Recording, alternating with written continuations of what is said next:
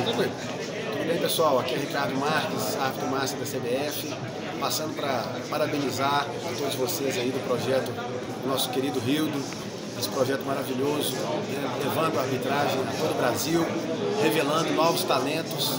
É com muita felicidade que eu recebo esse certificado do meu amigo Rildo, né, por, por essa parceria de sucesso de longa data e espero poder contribuir com vocês com um pouquinho da minha experiência.